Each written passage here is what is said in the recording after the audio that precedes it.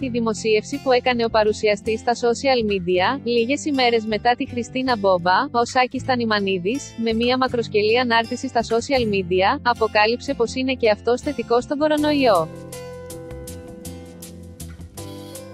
Bad News, δεν τη γλίτωσα ούτε εγώ από ό,τι φαίνεται. DOOD News, είμαστε και πάλι αγκαλιά και δεν χρειάζεται να παίζουμε κρυφτό μέσα στο ίδιο μας το σπίτι. Advertisement, εδώ και δύο μέρες έχω και εγώ όλα τα συμπτώματα, πυρετό, βήχα, ελαφριά δύσπνοια. Μετά από τηλεφωνική επικοινωνία με γιατρούς πήραμε το OK για να κινούμαστε επιτέλους ελεύθερα στο σπίτι. Σας ευχαριστούμε όλους για την συμπαράσταση και τα μηνύματα, σας αγαπάμε με όλη μας την καρδιά, καταλαβαίνω ότι αυτή τη στιγμή υπάρχει φόβος για το μέλλον, για το ποια είναι η επόμενη μέρα.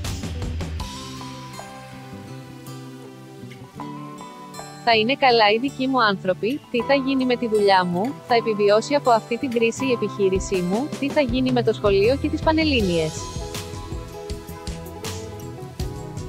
Πότε θα κυκλοφορήσουμε και πάλι ελεύθερα, θέλω όμως να θυμάστε ότι η γη δεν θα σταματήσει ποτέ να γυρίζει, και ότι αργά ή γρήγορα η ζωή θα επανέλθει στο κανονικό. Αυτό το PAUS που πατήσαμε όλοι στην κανονική μας ζωή για αυτό το διάστημα, σαν ταινία που την κόψαμε στη μέση για διάλειμμα, δεν είναι στο είναι PAUSE.